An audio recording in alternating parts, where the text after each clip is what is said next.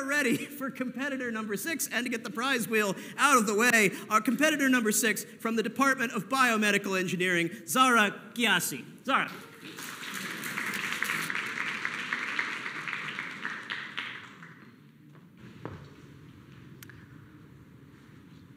Vaccines. They are one of the most important health interventions we have ever developed. In fact, they are often considered as essential for public health as clean water. Recently, mRNA vaccines, like the ones developed for COVID-19, have revolutionized the way we fight pandemics. But how do mRNA vaccines actually work? We know that in conventional vaccines, we inject an inactive or weakened form of the virus into the body to trigger an immune response.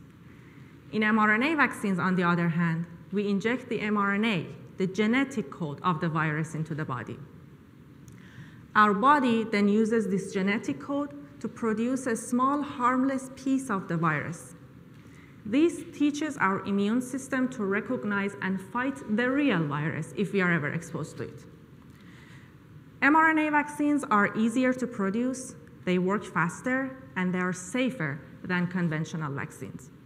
However, there is a major challenge mRNA is extremely fragile. It breaks down quickly and has to be stored at ultra cold temperature to be stable. For example, the Pfizer COVID-19 vaccine needs to be stored at negative 112 degree Fahrenheit because it's prone to degradation. This requires a special and expensive freezers and a carefully maintained cold chain. Well, it creates serious challenges in how we store and how we distribute vaccines to different locations, particularly to low resource areas where this super cold storage simply isn't available. Here is where my research comes in. I'm focused on making mRNA vaccines more stable.